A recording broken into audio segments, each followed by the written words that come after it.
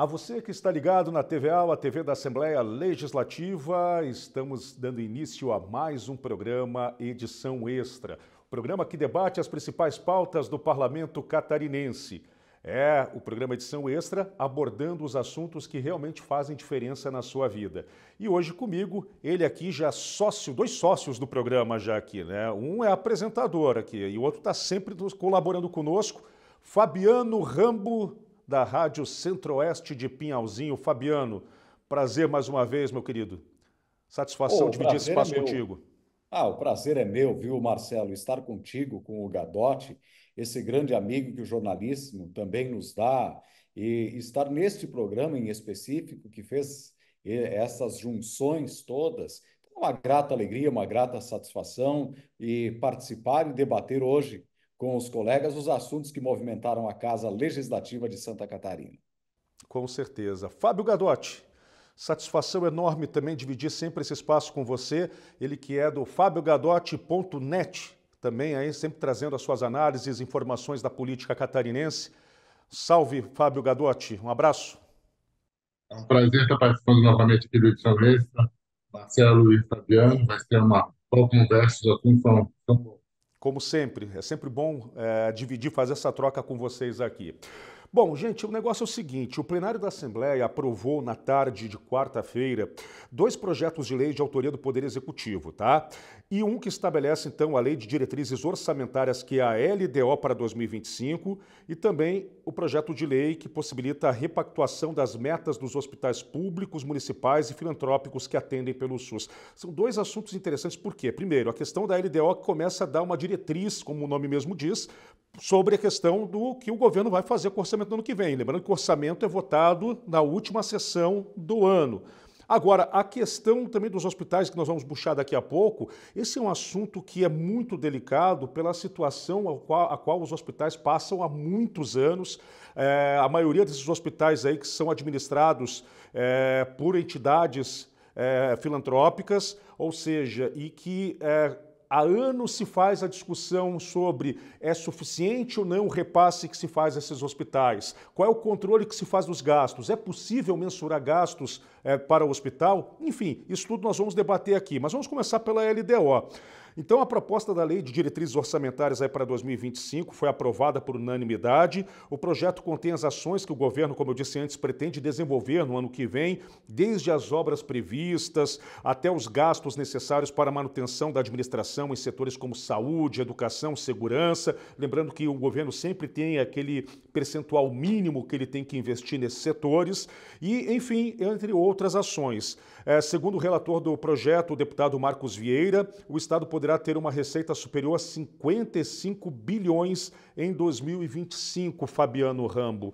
E aí, Fabiano, é, com esse recurso, muito embora com esse recurso, não, com essa previsão de receita superior né, a 55 bilhões, você acredita que, tirando as dívidas do Estado, o custeio do Estado, vai sobrar muita coisa aí para poder fazer obras também, para fazer, fazer ações com dinheiro próprio? Esse é o grande desafio, Marcelo. Tem uma parte de recursos que é carimbada do orçamento do Estado. Você tem 12% para a saúde, 25% para a educação, você tem a folha de pagamentos que não pode extrapolar os 44% que já entra num estado de atenção, você tem mais um percentual que já é comprometido com dívida pública, você já tem um outro percentual que já é comprometido com o rombo da Previdência Estadual. Então, nós estamos, entre aspas, com um orçamento que precisa muito bem ser gerido e administrado. É um volume de recursos grande? Obviamente que é. É o maior da história? É o maior da história. São 5 bilhões a mais do projetado para esse ano de 2024. Lembrando que estamos com excesso de arrecadação, o que é muito importante, Porém, fica sempre aquela dúvida: será que o orçamento está bem dimensionado? Será que ele está bem cotejado com as necessidades que o governo impõe e suplanta? Então, são questões que a gente só vai sentir realmente o impacto na prática. Mas a verdade seja dita: o governo tem três grandes projetos. O da saúde, que é o das cirurgias eletivas, o da educação, que é a universidade gratuita, e também tem o de estradas, por exemplo, que vão consumir partes importantes desse orçamento. Então, se o governo não fizer adequadamente os gastos da maneira adequada, controlando especificamente a folha de pagamentos e controlando a questão da previdência, não vai sobrar dinheiro para muita coisa. E o risco é o seguinte: se anunciar os programas e efetivamente ele não alcançar o seu objetivo, que é o catarinense. Sem sombra de dúvida. É, o que é interessante dizer é que, inclusive, o Cleverson Sievert, ele é uma, uma das figuras diferenciadas do estado de Santa Catarina, né? o secretário, secretário de Estado da Fazenda, e ele é extremamente técnico e minucioso na análise das contas do Estado. Fosse, foi o tempo em que se previa até uma possibilidade de arrecadação menor para depois você falar, ó, oh, o governo superou a arrecadação. Tinha muito disso também. E o governo não está estimando para mais agora. Né? Ou seja, Fábio, é, o governo está sendo bastante otimista com o ano que vem. Né? O que, que deve tá, estar tá aí no, no horizonte para fazer com que o governo seja tão otimista, prevendo uma arrecadação maior? É, realmente fora da realidade. Realmente bem né? até em função da lei de responsabilidade fiscal e de controle, né, de, da fiscalização dos órgãos de controle, né? Agora, realmente, o governo do Estado ele tem um desafio grande. E tentar, ao mesmo tempo, quer dizer, já sempre tem que cortar gastos, uh, investir com, com austeridade, investir de uma forma consciente e responsável, e, ao mesmo tempo, tentar aumentar a arrecadação. Muito bem. Gente, agora vamos mudar de assunto, vamos falar dos hospitais, que é um assunto bastante delicado, sobretudo os hospitais filantrópicos no Estado. Foi aprovado por unanimidade o projeto de lei que autoriza a Secretaria de Estado da Saúde a repactuar metas é, qualitativas ou quantitativas tá, estabelecidas pelas, para instituições filantrópicas e hospitais públicos municipais. Bom, na prática, a proposta possibilita aos hospitais a manutenção integral dos incentivos financeiros do Estado. Então, o que, que acontece? Sem a aplicação de descontos, o Estado não vai fazer descontos, mesmo em caso de não cumprimento das metas estabelecidas até 31 de dezembro de 2023. O relator do projeto e coordenador da Frente Parlamentar em Defesa da Saúde catarinense, o deputado José Belton Schaefer, do Explicou que a repactuação é uma espécie de anistia para os hospitais, necessária para amenizar as dificuldades financeiras às quais eles passam, é, passam perdão, enfrentadas aí por causa causa da, da questão do setor da saúde, que é normal essas dificuldades em que passa, e inclusive por causa do comprometimento também é, do serviço de saúde, você nunca consegue mensurar os gastos. Agora, essa questão de não cumprimento é, tem, duas, tem dois lados nisso aí, né? Por exemplo, é, tem que haver uma observância da gestão de cada hospital, esse é um ponto importante, né? Para entender por que, que não cumpriu. Né? Agora, por outro lado, há de se entender que é muito difícil, como eu disse antes, você mensurar custeio em saúde. Né, o gasto em saúde, a necessidade do hospital de ter vários atendimentos e, e isso acarretando gastos, ou seja, é, é, e isso daqui a pouco faz com que o hospital não consiga cumprir certas metas também. É, e aí, é, na opinião de vocês, vocês acham que isso é um risco para a possibilidade de premiar a má gestão ou não? Ou é, uma fato de é uma forma de você proteger essas entidades né, que realmente estão trabalhando no vermelho já há muitos anos? Fabiano. Bom, vamos começar a decompor a tua fala, Marcelo. Vamos lá. Primeiro, em 2023, o governo Jorginho Melo anunciou um aporte de recursos para os hospitais filantrópicos para viabilizá-los economicamente sai de 115 hospitais para 147 hospitais. Então, há um incremento importante no número de casas de saúde que poderão acessar esses recursos todos. A expectativa é que este volume de recursos chegue neste ano a 700 milhões de reais. Se não há essa repactuação, se não há este incentivo do governo para questão das metas, os hospitais não podem acessar esses recursos aí, que serão importantes para que o governo faça as cirurgias eletivas, por exemplo. Então, não adianta você ter um programa de cirurgias eletivas se você não tem aonde fazê-las. Então, a estratégia do governo foi a seguinte: eu lhe dou um voto de confiança e você me ajuda a cumprir com as, com as obrigações dos programas que eu estou incentivando. Por exemplo, no programa de cirurgias eletivas, há um incremento de até 50% no valor da tabela SUS para alguns tipos de procedimentos, como de coluna, que é uma grande necessidade. Aqui no Oeste, tu bem os conhece, Marcelo, há, há um grande número de pessoas com problemas de coluna devido ao trabalho, o tipo de vida que essas pessoas levaram ao longo da sua vida. Então, é importante. Agora, isto não é um perdão não é um perdão, porque se o hospital não fizer a partir de 2024 a sua meta, aí ele pode, aí sim, ser penalizado. O que nós estamos falando é do ano passado, até o final do ano passado. E agora isto viabiliza este acesso ao recurso, o que é muito importante, é fundamental. Lembrando que a rede filantrópica ela é fundamental porque nós temos alguns, do, ao, o, somente as estruturas de hospitais regionais públicos aí então. Aqui no Oeste nós ficaríamos refém do Hospital Regional administrado pela Associação Lenoir Vargas Ferreira e a Terezinha Gaio Basso em São Miguel do Oeste. Tá? Então nós ficaríamos de, a muito a depender dessas outras estruturas e deixaríamos de aproveitar estruturas de pequenos hospitais, como Pinhalzinho, Nova Erechim, Saudades, Maravilha e outras tantas cidades como Campo Herê, eu cito aqui no oeste, extremo oeste, estas, para exemplificar, que, não, que estariam sendo mal utilizadas e, correr, e correriam o risco de sucumbirem com o tempo. Então é um pouco esse o cenário da importância do que foi feito. Muito bem, essa é a edição extra desta semana com esses dois feras aqui, Fabiano Rambo e Fábio Gadotti. Nós vamos ao nosso primeiro intervalo já já voltamos com mais edição extra.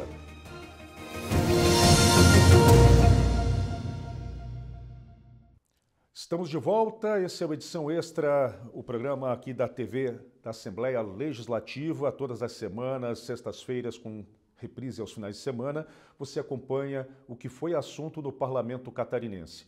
Hoje comigo, ele, Fábio Gadotti, do portal fabiogadotti.net e também Fabiano Rambo, da Rádio Centro-Oeste de Pinhalzinho e um dos apresentadores aqui do Edição Extra. Pois bem, gente, olha, é, a Assembleia, por meio da Comissão de Direitos da Pessoa com Deficiência e da Escola do Legislativo, realizou nesta semana um evento de capacitação no município de Governador Celso Ramos, na Grande Florianópolis, com profissionais da educação que atuam com pessoas com deficiência. Pois bem, a atividade integra a terceira semana pedagógica dos professores da cidade de Biguaçu, que tem como tema Inclusão e Diversidade Quebrando Paradigmas. É, durante todo o dia, cerca de 400 pessoas assistiram a diversas palestras com foco na inclusão no ambiente escolar. Uma das palestrantes, Marielle Nelly Finato Vacilai dos Santos, falou sobre a escolarização das pessoas com autismo. É, vale destacar que este é um tema muito procurado pelos professores, que recebem muitos alunos é, nessa condição, mas que não dispõem de instrumentos né, e nem diretrizes para fazer o seu trabalho. Pois bem, olha, essa é uma, uma discussão constante né, de como é, o setor da educação é, vai é, se organizar para poder dar uma educação adequada, por exemplo, para esses casos de crianças e de jovens com autismo, por exemplo. Né? O que, quando se fala em criar diretrizes aqui, o que me chama um pouco a atenção, mas já não tinha que ter diretriz já criada para esse tipo de atendimento, para né, esses alunos que precisam de um pouco de atenção maior, de uma maior atenção, e aí depende do grau, é claro, de cada um, mas, ou seja, será que já não tinha que ter uma diretriz já pré-estabelecida? Olha, é, nós vamos atuar de determinada forma, vai precisar de um professor a mais, ou seja, não importa aqui a questão em si, mas a, a, porque isso quem tem que decidir são os os profissionais técnicos, mas o que eu quero dizer, já não devia existir isso, Fábio Gadotti? Sim, a diretriz básica é, é inclusão. Né? Só que ainda há muito conhecimento e muita problema em relação a isso é causado pelo, pela, pelo preconceito. Né? As, pessoas, as pessoas não sabem, não conhecem o assunto e acabam e, e não sabem lidar. Né? É, é impressionante a informação é, as conclusões dessa, dessa iniciativa é que muita gente sabe como tratar ou trabalhar com alunos autistas em sala de aula. E, e é importante que iniciativas dessas aconteçam para que haja uma capacitação cada vez maior que existe pela falta de informação. Verdade. Fabiano Rambo, você que estava dando um gole no seu chimarrão, me diga uma coisa. É, como o Fábio bem disse, diretriz básica é essa mesmo, a inclusão. Perfeito. Mas como fazer essa inclusão?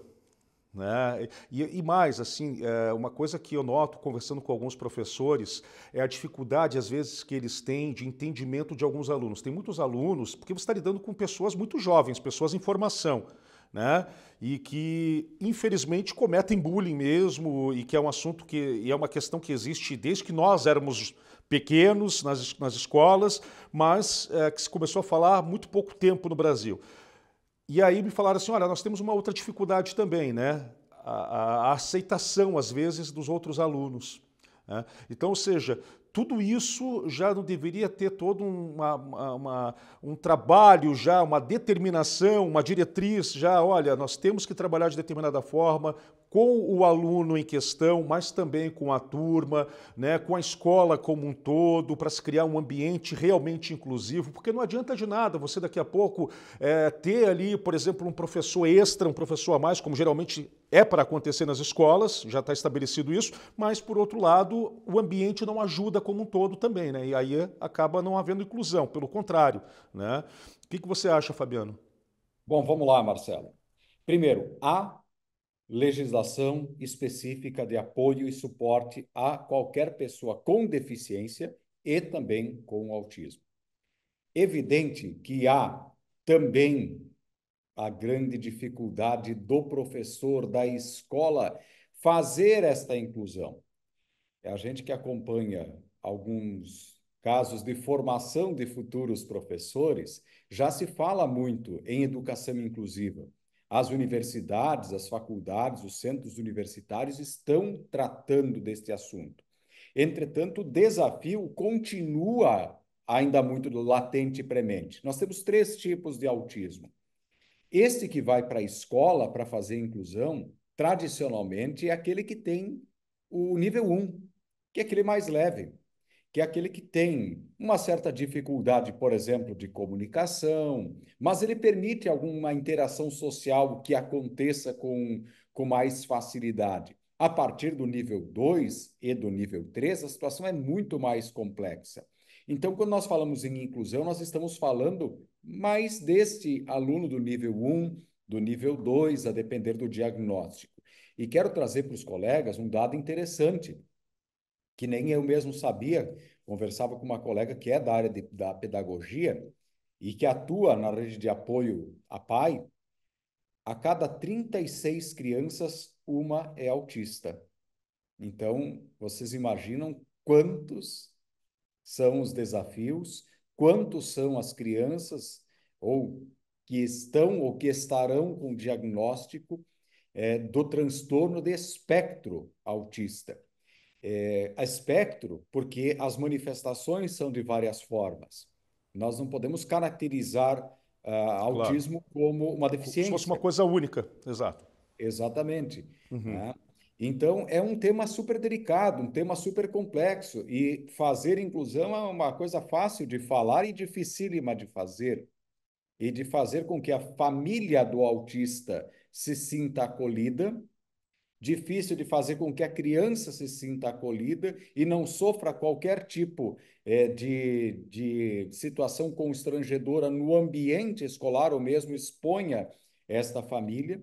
E nós temos uma outra leva que vamos muito em breve começar a discutir, que é TDAH, que é a questão do pensamento acelerado, que são, são outros transtornos que, na certeza, estarão cada vez mais presentes no aspecto da educação formal dita tradicional. Então, como educador, Fabiano, nós... desculpa te interromper, como educador, você acha que esse aumento, podemos dizer assim, da, da é, pelo fato de se diagnosticar hoje, ou de se entender hoje que nós temos sim uma, uma parcela é, é, interessante, ou digo, de, numerosa de crianças que, que sofrem de algum transtorno. É, isso mostra que os pais e a sociedade é, hoje começam a entender que é necessário enfrentar essa situação, no sentido de buscar ajuda, é, de o quanto mais cedo buscar apoio para o seu filho para um melhor desenvolvimento. Você acredita que seja isso, isso que está fazendo com que se identifique? Porque há alguns anos atrás não se falava disso praticamente, né? Ou, né? Então, ou se tinha como algo muito distante. E hoje você vê, é um número, é um número que chama a atenção. A cada 36, uma criança apresenta. Né? Então, ou seja, você acredita que isso passa realmente por um maior entendimento, por uma mudança de mentalidade da sociedade? Sem dúvida. Eu quero trazer dois pontos, viu, Marcelo? Primeiro deles é a prevenção. Como é que se pode prevenir esse tipo de situação? E eu falo através dos especialistas. Primeira situação é fazer um pré-natal bem feito é que as famílias tenham cuidado com essa gestação, que seja uma gestação planejada, que seja uma gestação cuidada da mãe para que o filho venha com a melhor saúde possível. Esse é o primeiro ponto. Evitar álcool, evitar cigarro, evitar qualquer tipo de ambiente que seja nocivo para a mãe e, consequentemente, para o bebê. Depois, fazerem os exames do nascimento. Claro que muitas vezes o, diagnóstico do autismo não vai acontecer logo nos primeiros dias ou meses de vida, vai levar um certo tempo. Mas fazer este acompanhamento da, da, com a pediatra, usar o sistema público de saúde, que por mais dificuldade que tem, ele, ele funciona. Em Santa Catarina é um estado diferenciado, por mais complicado, difícil que seja.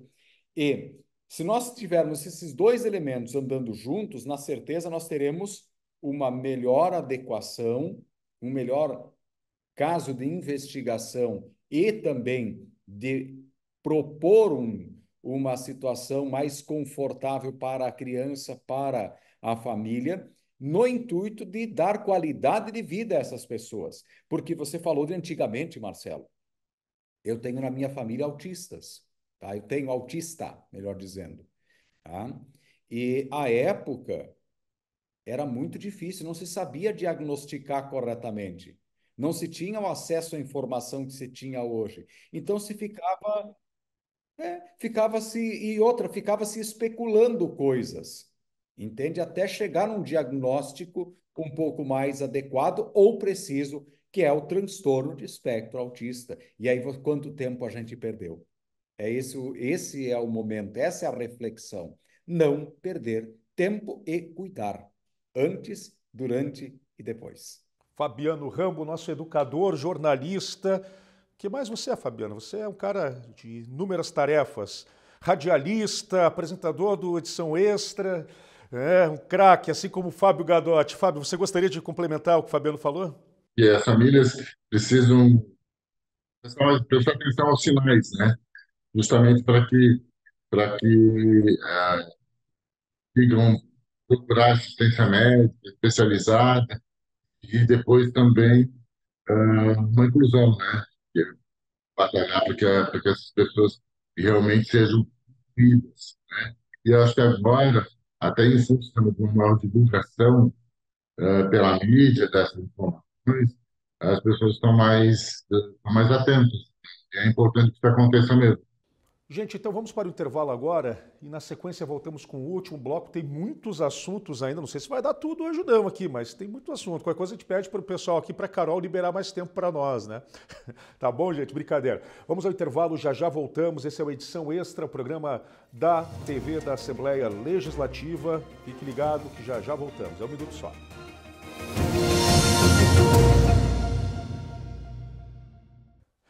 Estamos de volta, esse é a edição extra, o programa da TV da Assembleia Legislativa. É, lembrando sempre que o programa é transmitido todas as sextas, com reprise aos finais de semana, e você também pode acompanhar no site da Alesc. Também você pode, e também na página do YouTube da Alesc, você pode acompanhar esse programa também. Assista e compartilhe também para que mais pessoas fiquem sabendo aí das principais ações do Parlamento Catarinense, que com certeza deve interessar a todos. Estão comigo hoje aqui Fabiano Rambo, da Rádio Centro-Oeste de Pinhalzinho, ele que é um dos apresentadores aqui do Edição Extra, e também Fábio Gadotti, do portal fabiogadotti.net.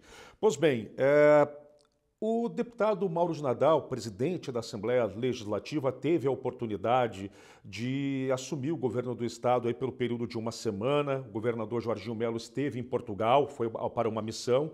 A vice-governadora Marisa Ben também acabou indo para o Uruguai para uma outra missão também. E isso oportunizou a Mauro de Nadal pela segunda vez a assumir o governo do estado. A primeira vez foi quando Carlos Moisés era o governador. Pois bem, então ele teve aí uma semana intensa rodou o estado inteiro, até com mau tempo, né? E vale destacar aqui o trabalho do Coronel Ricardo Silva também, que fez toda a logística do, do então governador em exercício Mauro de Nadal, que permitiu aí que ele rodasse as regiões.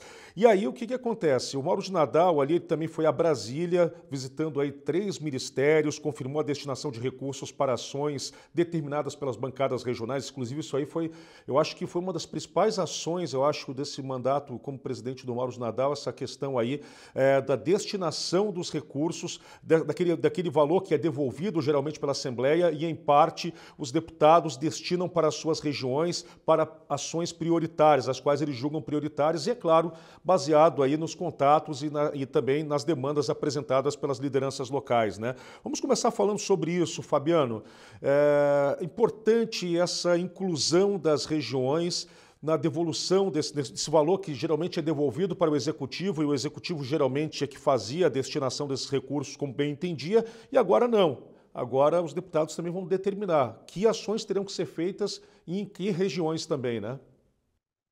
Exato, são 30 milhões, seis bancadas, 5 milhões cada uma delas. Aqui para o oeste de Santa Catarina, que compreende a nossa região, foram 5 milhões que serão investidos para a construção de uma piscina paraolímpica em Chapecó, no Complexo do Verdão. O desafio é contemplar as necessidades da região e encontrar o acordo com os deputados. A bancada do Oeste tem nove deputados. São nove parlamentares, nove cabeças, nove prioridades, com toda certeza, ou muito mais. Mas creio que este é um embrião de uma discussão que pode gerar resultados especificamente positivos no desenvolvimento regional e não no, no, sentido de atender demandas avulsas, como é o caso das emendas parlamentares, em que o deputado encaminha para o município para uma atitude, para uma definição. Então, nós começamos a pensar estrategicamente as regiões. Claro, 5 milhões de reais, é, como no caso deste ano, e que já foi anunciado, é, é pouco para fazer um asfaltamento é, consistente em vários quilômetros, mas já serve para fazer algo que toda a região vai se usufruir. Cito o exemplo aqui da nossa região oeste, mas não há dúvida alguma que isto fortalece as bancadas, fortalece as regiões e, de alguma maneira, de alguma forma, faz com que as regiões comecem a buscar nos seus deputados não mais de maneira avulsa, mas e sim na maneira mais organizada, buscando, por exemplo, quem é o líder da bancada este ano. Quem que é o, o, que está coordenando a bancada da minha região, seja do sul, do norte, da grande Florianópolis, do Planalto, enfim, da região que for. E aí se começa a discutir de uma outra maneira e quem sabe até mesmo fortalecendo associações municipais como as que temos em todo o estado, lideradas pela FECAM. Perfeito. Fábio Gadotti. Eu concordo com, com o Fabiano, acho que é uma boa iniciativa é, é, para a gente conseguir atender obras importantes que não sejam pontuais. Né? No caso da Grande Florianópolis, por exemplo, os quatro deputados, Camilo Martins, Sérgio Guimarães e o deputado Sérgio Mota decidiram que esses 5 milhões iam ser canalizados em obras na área da defesa importante, estão sintonizados aí com toda essa discussão que vem acontecendo cada vez mais força em relação às mudanças climáticas, né? e é importante.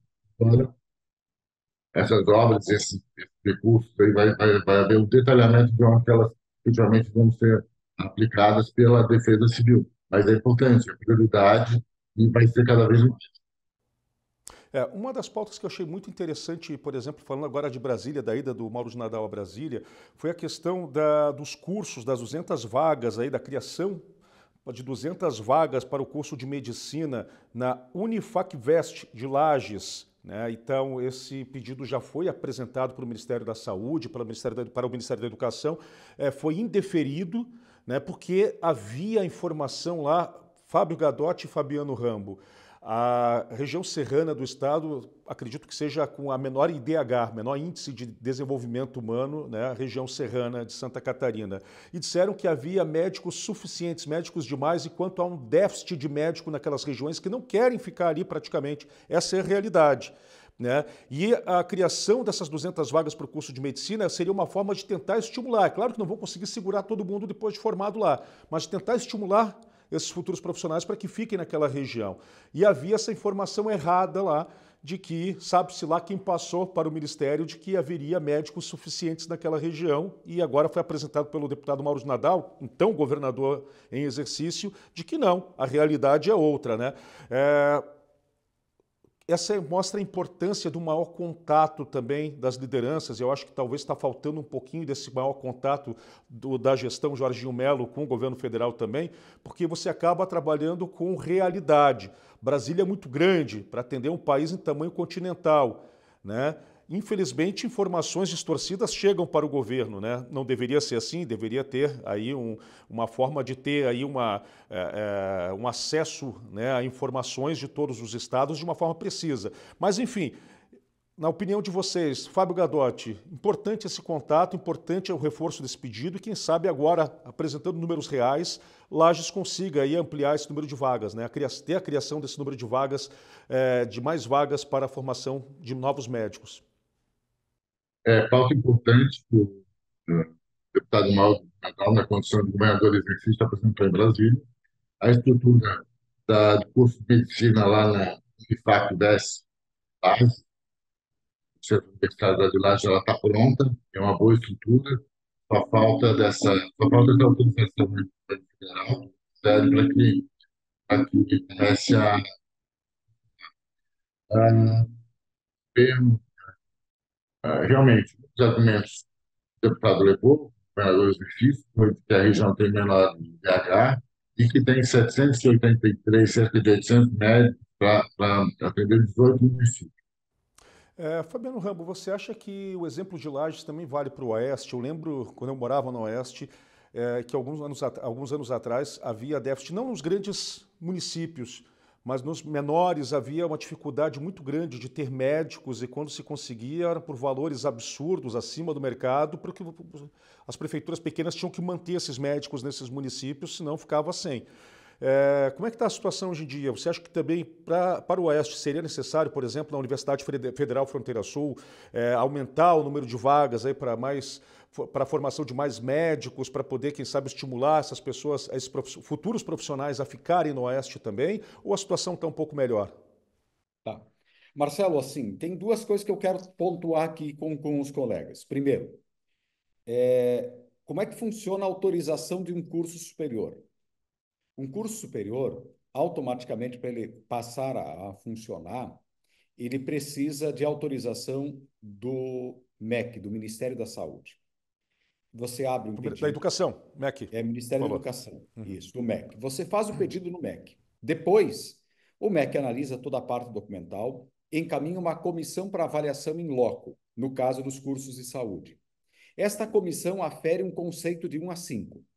Depois de avaliado com um conceito no mínimo 3, você pode abrir efetivamente o curso.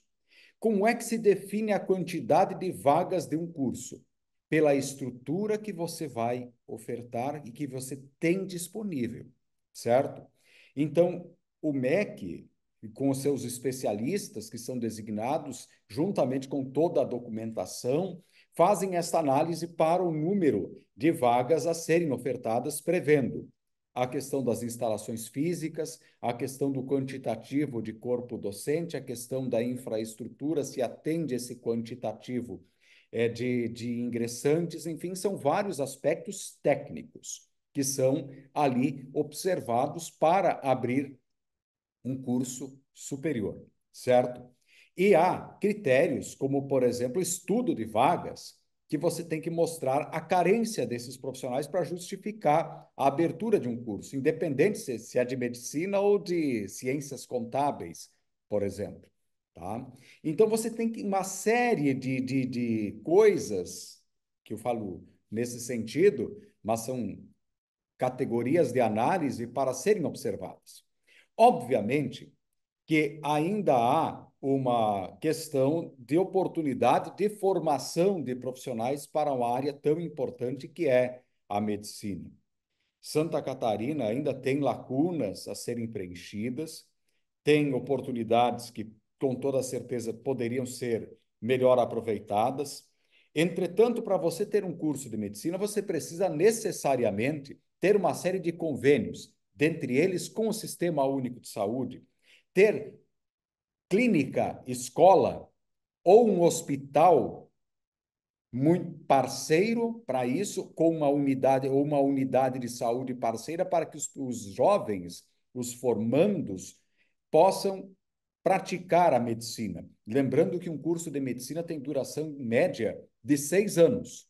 É um dos cursos com maior carga horária prevista dentro da legislação é, da educação superior. Então, há esta oportunidade. Pleitear um número de vagas também pleiteia-se um aumento de infraestrutura.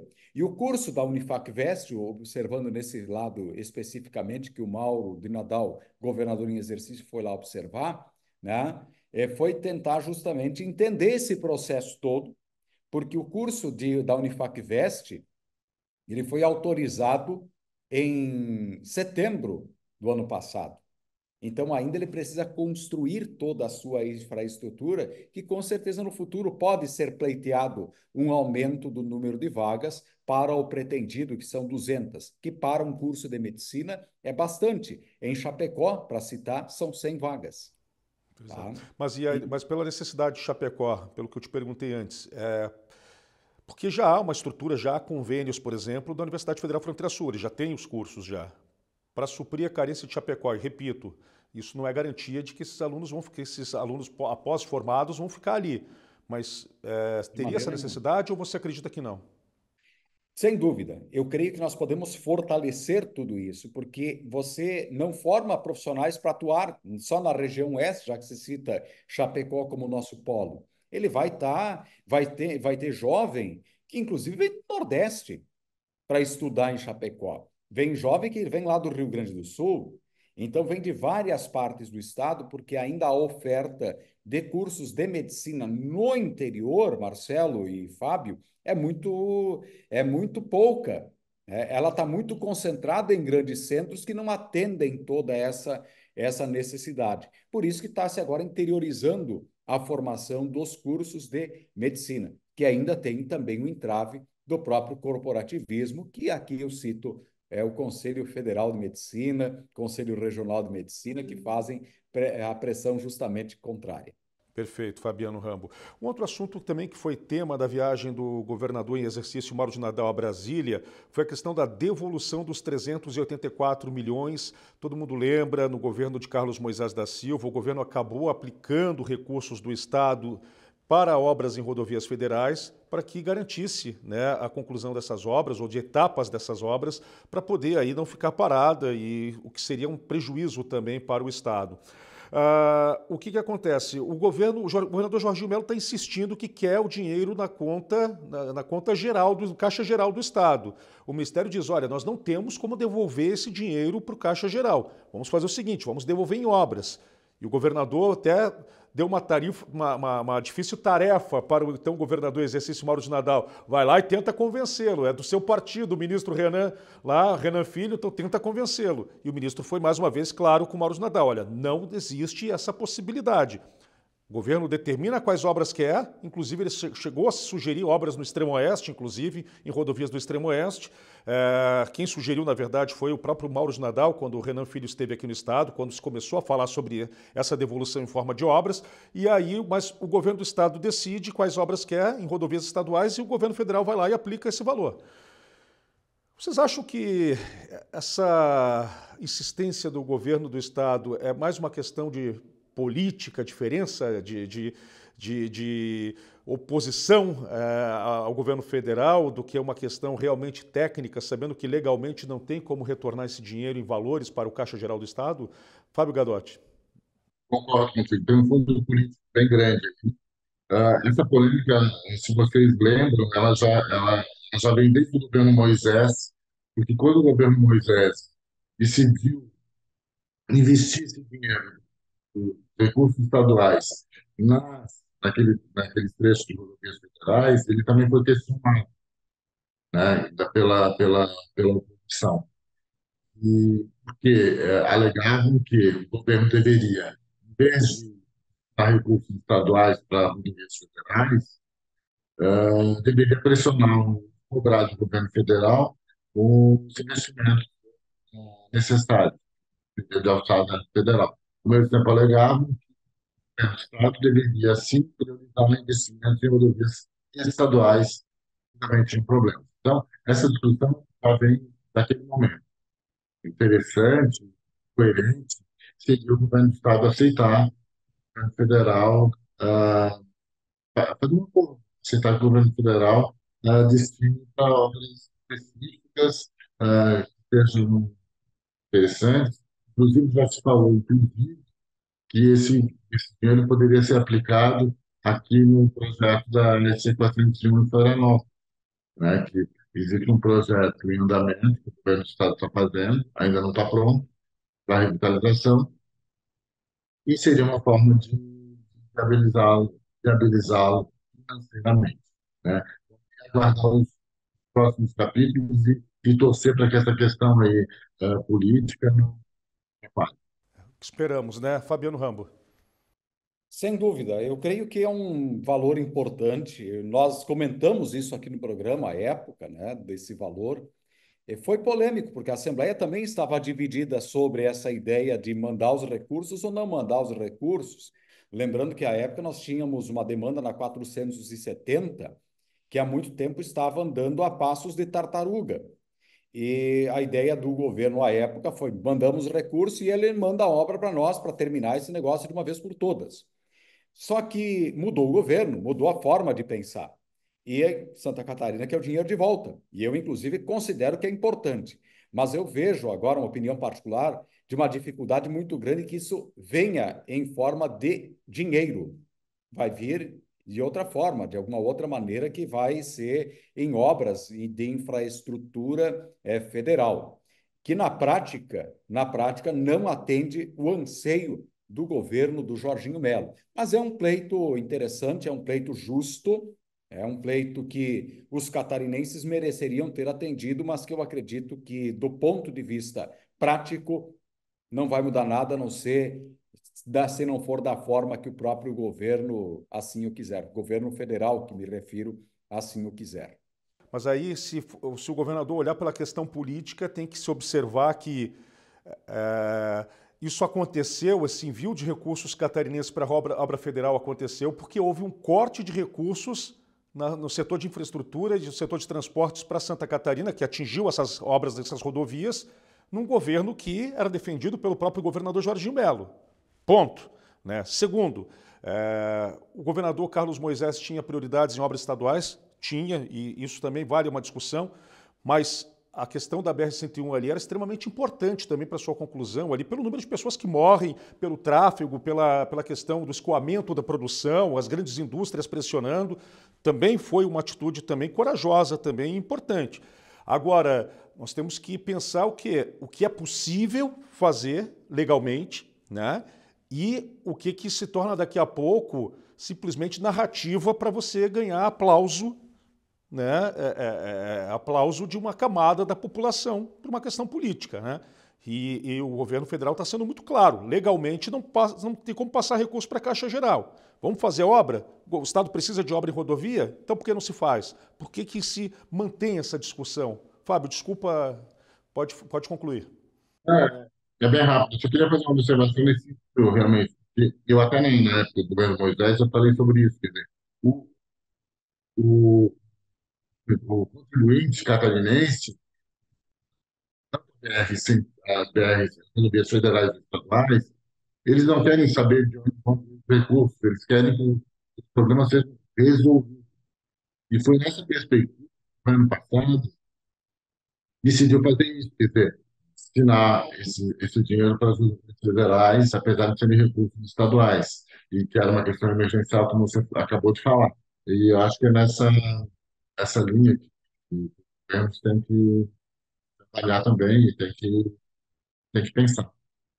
Muito bem. Gente, olha, infelizmente o papo está ótimo, né? Felizmente o papo está ótimo, mas infelizmente o tempo está encerrando. Quero agradecer muito aí a companhia de vocês, é sempre muito bom trocar com vocês informações, opiniões, é, participar desse espaço aqui com o grande Fabiano Rambo. Um grande abraço, Fabiano, e até a próxima. Valeu, Marcelo, muito obrigado. Fábio, sempre uma grata alegria ver todos e até a próxima oportunidade. Fabiano Rambo, que é da Rádio Centro-Oeste de Pinhalzinho, e também com o grande Fábio Gadotti. Fábio Gadotti, também um grande abraço, é sempre uma alegria encontrar você. Igualmente, obrigado pelo convite. Marcelo, Fabiano, até a próxima. Até a próxima, Fábio Gadotti, do portal fabiogadotti.net. E assim eu agradeço, como sempre, a sua audiência, você que sempre nos acompanha. Repito, compartilhe com as pessoas esse programa também para que elas saibam o que está sendo discutido no Parlamento Catarinense. Programa edição extra todas as sextas-feiras, com reprise aos finais de semana, sempre com essas feras aqui, ó, dando a sua opinião sobre os temas debatidos pelos parlamentares aqui de Santa Catarina. Um abraço a vocês e até o nosso próximo encontro.